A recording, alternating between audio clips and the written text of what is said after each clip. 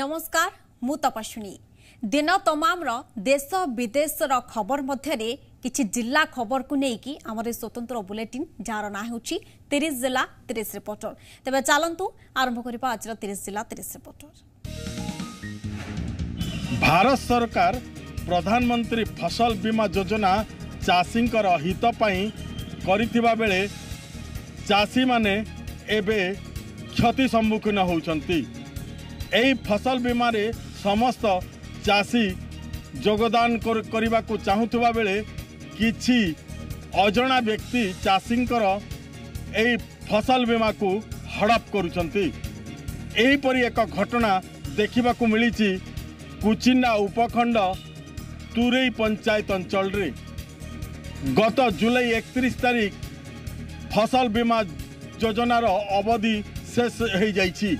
ହେଲେ বহু চাষী এর ফসল বীমা করা বঞ্চিত হয়ে যাই কারণ এই চাষী মানে আজ যে আসিছেন অভিযোগ করা উপজেলাপাল কার্যালয় এই চাষীঙ্কর ফসল বীমা যোজনার সামিল হয়ে পারি না কেহি জনে দুর্বৃত্ত তাঁকর ফসল বীমা করেই নেই কিপর এই ফসল বীমা যোজনা হল সে জানিপারু না সেপাই ସେମାନେ ଗତ ମାସ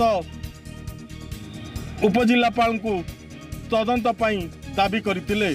ହେଲେ ସାତ ଦିନ ମଧ୍ୟରେ ତଦନ୍ତ କରି ଏହାର ନିର୍ଣ୍ଣାୟକ ଜଣାଇବା ପାଇଁ ସେମାନଙ୍କୁ କହିଥିଲେ। କିନ୍ତୁ ହେଲେ ମଧ୍ୟ ଆଜି ପର୍ଯ୍ୟନ୍ତ କୌଣସି ନିର୍ଣ୍ଣାୟକ ହୋଇପାରିନଥିବାରୁ ଚାଷୀମାନେ ଆସିଛନ୍ତି ପୁଣି ଉପଜିଲ୍ଲାପାଳଙ୍କ କକ୍ଷକୁ ଓ ଦାବିପତ୍ର ପ୍ରଦାନ କରିଛନ୍ତି। ଯଦି ଆଗାମୀ ସେପ୍ଟେମ୍ବର ଏକ ତାରିଖ ଭିତରେ କୌଣସି ପ୍ରକାର ନିର୍ଣ୍ଣାୟକ ଯଦି ନ ଦେବେ ଏବଂ ନ ଜଣାଇବେ ଚାଷୀଙ୍କୁ ହେଲେ ସେମାନେ ଉପଜିଲ୍ଲାପାଳ କାର୍ଯ୍ୟାଳୟ ସମ୍ମୁଖରେ ଆନ୍ଦୋଳନ କରିବାକୁ ଚେତାବନୀ ଦେଇଛନ୍ତି। ଦଶ ଦିନ ହେଲା ପୁଅ ନିଖୋଜ। ଖୋଜି ଖୋଜି ବାପା ମାଙ୍କ ଆଖିର ଲୁହ ଆଖିରେ ମିଶିଲାଣି। ଥାନାରେ ଏତଲା ଦେଇଥିଲେ ବି ପୋଲିସର ହାତ ଶୂନ୍ୟ। ଯେ କି ଘସିପୁରା ବ୍ଲକ କରଡ଼ାପାଳ ଗାଁର ସଂଗ୍ରାମ ନାୟକ ଯେ କି କଟକରେ ପାଠ ପଢ଼ୁଥିଲା ବେଳେ ଦଶ ଦିନ ହେଲା ନିଖୋଜ ଅଛନ୍ତି। ଜୋବ୍ରା ଆନିକଟ ନିକଟରୁ ତାର ସାଇକେଲ ଚପଲ ମିଳିଥିଲା ବେଳେ ଅଭିଯୋଗ ପରେ ଅଗ୍ନିଶମ ବାହିନୀ ପୋଲିସ ଜୋବ୍ରା ଆନିକଟରେ ଖୋଜାଖୋଜି କରି ହତାଶ ହୋଇଛନ୍ତି। ଏଭଳି ପରିସ୍ଥିତିରେ ବାପା ମାଆମାନେ ଥାନାରେ ଏତଲା ଦେଇଛନ୍ତି ଏବଂ ମାଙ୍କର କହିବା ଅନୁସାରେ ତ୍ରିକୋଣୀୟ ପ୍ରେମକୁ ନେଇ ଏଭଳି ଘଟିଥିବା ଜଣାପଡ଼ିକି ସନ୍ଦେହ କରାଯାଉଛି। ଯଦି ପୋଲିସ ସଠିକ୍ ତଦନ୍ତ କରନ୍ତା ନିଶ୍ଚିତ ଭାବରେ ତାହେଲେ ତାଙ୍କ ପୁଅକୁ ସେ ପାଇପାରନ୍ତେ। ନୟାଗଡ଼ ଜିଲ୍ଲାରେ ମରୁଡ଼ିର ପ୍ରତିଧ୍ୱନି।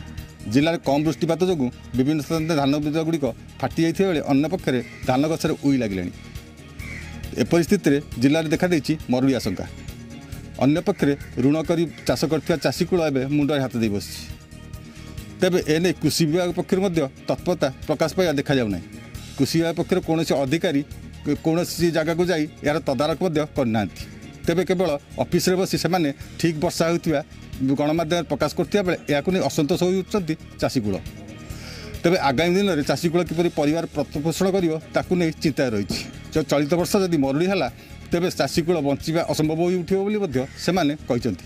ଅନ୍ୟପକ୍ଷରେ ପ୍ରଶାସନ ପକ୍ଷରୁ ଏହାର ପ୍ରତିକାର ବ୍ୟବସ୍ଥା ମଧ୍ୟ ଗ୍ରହଣ କରିବାକୁ ସେମାନେ କହିଛନ୍ତି ସେବେ ତେବେ ମରୁଡ଼ି ଅଞ୍ଚଳ ଚିହ୍ନଟ କରାଯାଇ ଚାଷୀ କୂଳ- କୂଳଙ୍କୁ ସହାୟତା ପ୍ରଦାନ କରିବା ପାଇଁ ମଧ୍ୟ ସେମାନେ ଦାବି କରିଛନ୍ତି ତେବେ ଶ୍ରାବଣ ମାସ ଯାଇ ଯାଇସାରିଥିଲା ପରେ ଏବେ ଆଉ ବର୍ଷା ହେବାର କୌଣସି ସମ୍ଭାବନା ଥିବା ବେଳେ ମରୁଡ଼ିର ସଂଖ୍ୟା ଏବେ ଦୃଢ଼ୀଭୂତ ହୋଇଛି।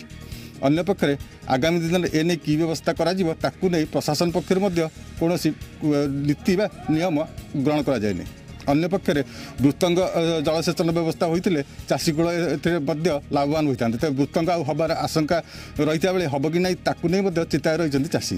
ଏ ପରିସ୍ଥିତିରେ ଆଗାମୀ ଦିନରେ ଚାଷୀକୂଳ କିପରି ବଞ୍ଚିବେ ଏବଂ କିପରି ମରୁଡ଼ି ମୁକାବିଲା କରିବେ ତାକୁ ନେଇ ଚିନ୍ତାରେ ରହିଛନ୍ତି। ଯାଜପୁର ଜିଲ୍ଲା ଧର୍ମଶାଳା ବ୍ଲକ ପଟୁଣିଆ ପଞ୍ଚାୟତରେ ଅଘଟଣ।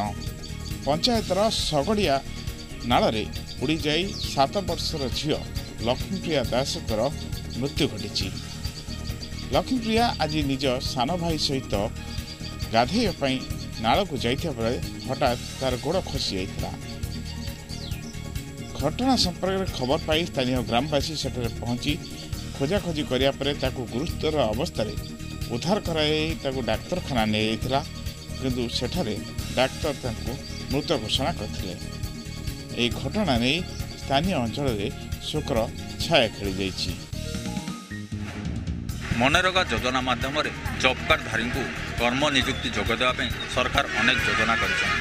କରୋନା କଟକଣା ସମୟରେ ଯେଉଁ ଲକଡାଉନ୍ କାରଣରୁ କର୍ମ ନିଯୁକ୍ତି ହରାଇଥିବା ବେକାର ବା ଗରିବ ଲୋକମାନଙ୍କୁ କର୍ମ ନିଯୁକ୍ତି ଯୋଗାଇ ଦେବା ପାଇଁ ସରକାର ଖରା ବର୍ଷା ଶୀତ ମାଧ୍ୟମରେ ମନରେଗା କାର୍ଯ୍ୟ ଚାଲିବ ବୋଲି କହିଛନ୍ତି। ତେବେ ଏହି କାର୍ଯ୍ୟ ମଧ୍ୟ ଚାଲୁଛି ବିଭିନ୍ନ ପଞ୍ଚାୟତରେ। କିନ୍ତୁ ଘଟଗାଁ ବ୍ଲକ ମନୋହରପୁର ପଞ୍ଚାୟତର ଖଜୁରୀ ଜୁଆଣି ଗ୍ରାମରେ ଦେଖାଇଛି ବ୍ୟତିକ୍ରମ। ମନରେଗା ଯୋଜନା ମାଧ୍ୟମରେ ଗ୍ରାମ ନିକଟ ଥିବା ଜଙ୍ଗଲରେ ବର୍ଷା ଜଳକୁ ସଂରକ୍ଷିତ ରଖିବା ପାଇଁ ଯେଉଁ ଯୋଜନା ଆସିଥିଲା ପାଖାପାଖି ଦଶ ଲକ୍ଷ ଟଙ୍କା ବ୍ୟୟ ଅଟକଳ ହୋଇଥିଲା। ଚଳିତ ଆର୍ଥିକ ବର୍ଷରେ ଏହା ଜବ୍ କାର୍ଡଧାରୀମାନେ କରିବେ ବୋଲି ନିଷ୍ପତ୍ତି ହୋଇଥିଲା। କିନ୍ତୁ ଏଥିରେ ଦେଖାଯାଇଛି ବ୍ୟତିକ୍ରମ। ଠିକାଦାର ଏବଂ ପଞ୍ଚାୟତର କର୍ମଚାରୀମାନେ ମିଳିମିଶି ଏଠାରେ ମେସିନ୍ ମାଧ୍ୟମରେ କାର୍ଯ୍ୟ କରୁଛନ୍ତି। ଯାହାଫଳରେ କି ଜବ୍ କାର୍ଡଧାରୀମାନେ ସେମାନେ କର୍ମ ନିଯୁକ୍ତି ନ ପାଇ ବେକାର ବସିଛନ୍ତି। ଏବଂ ଏହି ଯେଉଁ ଜବ୍ କାର୍ଡଧାରୀମାନେ ମେସିନ୍ କାର୍ଯ୍ୟକୁ ବିରୋଧ କରିବା ସହିତ ବ୍ଲକ ପ୍ରଶାସନର ଦ୍ୱାରସ୍ଥ ହୋଇଛନ୍ତି।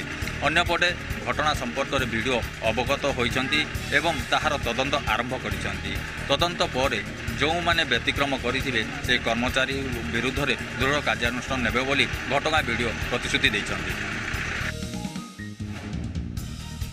ଗତକାଲି ରାତିରେ ଦୁଇ ଘଣ୍ଟା ବର୍ଷାରେ ବାଲେଶ୍ୱର ସହରର ଅବସ୍ଥା ପୁଣି ବେହାଲ ହୋଇଛି ତ ଆମେ କହିପାରିବା ଏ ନେଇକି ଯେଉଁ ଚିଡ଼ିଆ ପୋଲର ଯେଉଁ ମାର୍କେଟ କମ୍ପ୍ଲେକ୍ସ ରହିଛି ଯେଉଁ ଦୋକାନ ଗୁଡ଼ିକ ରହିଥିଲା ସେଥିରେ ଦୋକାନ ଘର ଗୁଡ଼ିକରେ ବର୍ଷା ପାଣି ପଶିଯିବାରୁ ଅନେକ ଦୋକାନୀଙ୍କର ଜିନିଷପତ୍ର ମଧ୍ୟ ନଷ୍ଟ ହୋଇଛି ସେଥିରେ ଖବର ପାଇ ଅ- ଖବର ଦିଆଯିବାରୁ ଅଗ୍ନିଶମ ବିଭାଗର ଗୋଟିଏ ଦମକଳ ବାହିନୀ ଆସି ମଟର ଯୋଗେ ଯେଉଁ ପାଣିକୁ ନେଇକି ଜଳ ନିଷ୍କାସନ କରାଯାଇଥିଲା ତ ଆମେ କହିପାରିବା ସହରର ଯେଉଁ ବିଭିନ୍ନ ତଳିଆ ଅଞ୍ଚଳ ରହିଛି ପାଣି ପଶିଯିବାରୁ ଏ ନେଇକି ଅ, ବିଭିନ୍ନ ସ୍ଥାନରେ ଲୋକମାନେ ହଇରାଣ ହରକତ ହୋଇଥିଲେ ତ ଆମେ କହିପାରିବା ଯେଉଁ ଚିଡ଼ିଆ ପୋଲ ରହିଛି ଅ, ସିନେମା ବଜାର ଅ, କଂଗ୍ରେସ ଅଫିସ ଗଳି ଏବଂ ଯେଉଁ ରହିଛି ଅ, ମତିଗଞ୍ଜ ରୋଡର ବିଭିନ୍ନ ସ୍ଥାନରେ ପାଣି ପଶିଯିବାରୁ ଲୋକମାନେ ହଇରାଣ ହୋଇଥିଲେ ତ ଆମେ କହିପାରିବା ପୂର୍ବରୁ ମଧ୍ୟ ସମାନ ଅବସ୍ଥା ସାତ ଦିନ ପୂର୍ବରୁ ହୋଇଥିଲା ତ କିଭଳି ଭାବେ ସହରରେ ଜଳ ନିଷ୍କାସନ ହୋଇପାରିବ ସେ ନେଇକି ପ୍ରଶାସନ ଦୃଷ୍ଟି ଦେବା ପାଇଁ ସାଧାରଣ ଦାବି ହୋଇଛି ଅନ୍ୟପଟେ ଡ୍ରେନେଜ ସମସ୍ୟା ଯୋଗୁଁ ମଧ୍ୟ ଲୋକମାନେ ଅନେକ ଅସୁବିଧାର ସମ୍ମୁଖୀନ ହେଉଛନ୍ତି ତ ଏଥିପ୍ରତି କିଭଳି ଭାବେ ଡ୍ରେନେଜ ସମସ୍ୟାର ସମାଧାନ ହୋଇପାରିବ ଏବଂ ଜଳ ନିଷ୍କାସନ ହୋଇପାରିବ ସେଥିପ୍ରତି ପ୍ରଶାସନ ଦୃଷ୍ଟି ଦେବା ପାଇଁ ଦାବି ହୋଇଛି। ବାଲସା ଜିଲ୍ଲା ବାହାନଗା ବ୍ଲକ ଷଠି ଗ୍ରାମରେ ହେବାକୁ ଥିବା ଆଦର୍ଶ ବିଦ୍ୟାଳୟକୁ ଗୋପାଳପୁର ଜାଗେଶ୍ୱର ପଦାରେ ସ୍ଥାନାନ୍ତରଣ କରାଯାଇଥିବାରୁ ଏହାକୁ ପ୍ରତିବାଦ କରି ସାତଟି ପଞ୍ଚାୟତର ଗ୍ରାମବାସୀମାନେ ଧାରଣା ଦେଲେ। ଏହି ଘଟଣାଟି ଘଟିଛି ବାହାନଗା ବ୍ଲକରେ ଥିବା ଷଠି ଗ୍ରାମରେ ଆଦର୍ଶ ବିଦ୍ୟାଳୟ କରିବା ପାଇଁ ଦୁଇ ବର୍ଷ ପୂର୍ବରୁ ଏଇଟା ସରକାରଙ୍କ ଦ୍ୱାରା ନିର୍ଦ୍ଦେଶ ଦିଆଯାଇଥିଲା। ଅନ୍ୟପଟେ ଟେଣ୍ଡର ମଧ୍ୟ ହୋଇଯାଇଥିଲା। ପର ମୁହୂର୍ତ୍ତର ଏହି ଆଦର୍ଶ ବିଦ୍ୟାଳୟକୁ ଗୋପାଳପୁର ଅଧୀନ ଜାଗରପଦାରେ କରିବା ପାଇଁ ପୁଣି ସ୍ଥାନାନ୍ତର କରାଯାଇଥିଲା। ଏହି ବାବଦରେ ବାହାନା ବ୍ଲକ ସାତଟି ପଞ୍ଚାୟତର ଗ୍ରାମବାସୀମାନେ ବିରୋଧ କରିଥିଲେ।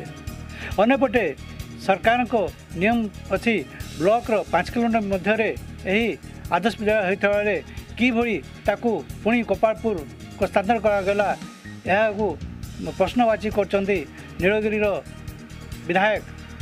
ଅନ୍ୟପଟେ ଏହି ସ୍ଥାନରେ ଏକ ବିରାଟ ର୍ୟାଲି କରି ସେମାନେ ବାହାନଗା ବ୍ଲକ ପହଞ୍ଚିଥିଲେ ଓ ସେଇଠାରେ ହଜାର ହଜାର ଲୋକ ଧାରଣାରେ ବସିଛନ୍ତି। ଅନ୍ୟପଟେ ସେମାନେ ସକାଳେ ଜାତୀୟ ରାଜପଥ ଷୋହଳ ଓ ବାହାନଗା ଗୋପାଳପୁର ରାସ୍ତାକୁ ଅବରୋଧ କରିଥିଲେ। ଘଟଣାସ୍ଥଳରେ ଖନ୍ତାପଡ଼ା ପୁଲିସ ପହଞ୍ଚି ବୁଝାସୁଝା କରି ତାଙ୍କୁ ଉଠାଇଥିଲେ। ଏଯାଏ ଏହି ସାତଟି ପଞ୍ଚାୟତର ଗ୍ରାମବାସୀମାନେ ଦାବି କରି ବାହାନଗା ବ୍ଲକ ସମ୍ମୁଖରେ ଗଣଧାରଣାରେ ବସିଛନ୍ତି ଆଉ ସେମାନେ ଦାବି ରଖିଛନ୍ତି ଯେତେ ପର୍ଯ୍ୟନ୍ତ ଏହି ନିଷ୍ପତ୍ତିକୁ ଫେରାଇ ନେବେ ଆଉ ବା ସଠିକ୍ ଗ୍ରାମର ଏହି ଆଦର୍ଶ ବିଭାଗ କରିବା ପାଇଁ ସରକାର ନିର୍ଦ୍ଦେଶ ନ ଦେବେ ସେତେ ପର୍ଯ୍ୟନ୍ତ ଏହି ଗଣଧାରଣା ଜାରି ରହିବ। ଦେଖ ବାକି ରହିଲା ସରକାର ଏଥିପ୍ରତି କ'ଣ ନିଷ୍ପତ୍ତି ନେଉଛନ୍ତି? ସେ ଘେରରେ ଭଦ୍ରକ ଜିଲ୍ଲାର ଧାମନଗର ଗୋଷ୍ଠୀ ସ୍ୱାସ୍ଥ୍ୟ କେନ୍ଦ୍ର। ନାହିଁ ନାହିଁରେ ଦୀର୍ଘ ଦିନ ହେବ ଚାଲିଛି ଏ ଗୋଷ୍ଠୀ ସ୍ୱାସ୍ଥ୍ୟ କେନ୍ଦ୍ର। ଏ ଗୋଷ୍ଠୀ ସ୍ୱାସ୍ଥ୍ୟ କେନ୍ଦ୍ର ଉପରେ ପାଖାପାଖି କୋଡ଼ିଏରୁ ଉର୍ଦ୍ଧ୍ୱ ପଞ୍ଚାୟତ ସମ୍ପୂର୍ଣ୍ଣ ନିର୍ଭର କରନ୍ତି। ତେବେ ଏ ମେଡ଼ିକାଲରେ ଦୀର୍ଘ ଦିନ ହେବ ଡକ୍ଟରର ଅଭାବ ଦେଖା ଦେଇଥିଲା ତେବେ କିଛି ଦିନ ପୂର୍ବରୁ କିଛି ଡକ୍ଟରଙ୍କ ନିଯୁକ୍ତି ମଧ୍ୟ କରାଯାଇଥିଲା। ତେବେ ନୂଆ କରି ଯେଉଁ ଜଣେ ଡକ୍ଟର ଆସିଛନ୍ତି ଦୀର୍ଘ ଦିନ ହେବ ନିଯୁକ୍ତି ପାଇଥିଲେ ସୁଦ୍ଧା ତିନି ମାସ ହେବ ଅଦ୍ୟାବଧି ଆସୁନାହାନ୍ତି ମେଡ଼ିକାଲକୁ। ଏହିଭଳି ସାଂଘାତିକ ଅଭିଯୋଗ ଆଣୁଛନ୍ତି ଧାମନଗରବାସୀ। ତେବେ ଗୋଟିଏ ପଟେ ଡକ୍ଟରର ଅଭାବ ଯଦିଓ ପୂରଣ ହୋଇଛି ସତ କିନ୍ତୁ ଡକ୍ଟର ମେଡ଼ିକାଲ ନ ଆସୁଥିବା ନେଇ ରୋଗୀମାନେ ନାହିଁ ନଥିବା ଅସୁବିଧାର ସମ୍ମୁଖୀନ ହେଉଛନ୍ତି। ବିଭିନ୍ନ ସମୟରେ ରୋଗୀମାନେ ଦୂର ଦୂରାନ୍ତରୁ ଆସିଥିଲେ ମଧ୍ୟ ବାଧ୍ୟ ହୋଇ ମାତ୍ରାଧିକ ଖର୍ଚ୍ଚାନ୍ତ ହୋଇ ଭଦ୍ରକ ମୁଖ୍ୟ ଚିକିତ୍ସାଳୟକୁ ମଧ୍ୟ ଯାଉଛନ୍ତି। ତେଣୁକରି ଧାମନଗର ଭଳି ସହରରେ ଦୀର୍ଘ ଦିନ ହେବ ଏବେ ଯେଉଁ ମେଡ଼ିକାଲରେ ଯେଉଁ ସମସ୍ୟା ଲାଗି ରହିଛି ଏ ନେଇ ବୁଦ୍ଧିଜୀବୀ ମହଲଠୁ ଆରମ୍ଭ କରି ସାଧାରଣ ଲୋକମାନେ ବାରମ୍ବାର ବିଭାଗୀୟ ଅଧିକାରୀଙ୍କ ଦୃଷ୍ଟି ଆକର୍ଷଣ କରିଥିଲେ ମଧ୍ୟ ଏହାର କୌଣସି ସୁଫଳ ମିଳିପାରୁନାହିଁ। ତେବେ ଯେଉଁ ଯେଉଁ ଡକ୍ଟରମାନଙ୍କର ନିଯୁକ୍ତି ହେଇଛି ସେମାନେ କିପରି ଉପଯୁକ୍ତ ସମୟରେ ରୋଗୀ ସେବା କରିବେ ସେ ନେଇ ମଧ୍ୟ ଅ, ବିଭାଗୀୟ ଅଧିକାରୀ ଦୃଷ୍ଟି ଦେବା ଦରକାର।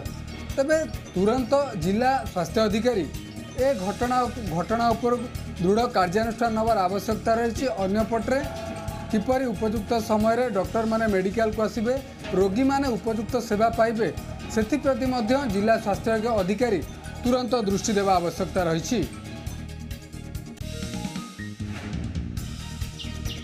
କୋଭିଡ ସମୟରେ ସାରା ଦେଶକୁ ଅମ୍ଳଜାନ ଯୋଗାଇ ଓଡ଼ିଶାର ମାନ୍ୟବର ମୁଖ୍ୟମନ୍ତ୍ରୀ ନବୀନ ପଟ୍ଟନାୟକ ଚର୍ଚ୍ଚାକୁ ଆସିଥିବା ବେଳେ ଏବେ ପରିବେଶରେ କେମିତି ଅମ୍ଳଜାନ ସନ୍ତୁଳିତ ଭାବରେ ରହିବ ସେଥିପାଇଁ ପ୍ରତ୍ୟେକ ଘରକୁ ଚାରା ଗଛ ବଣ୍ଟନ କରି ଏବେ ଚର୍ଚ୍ଚାର କେନ୍ଦ୍ରବିନ୍ଦୁରେ ଅଛନ୍ତି।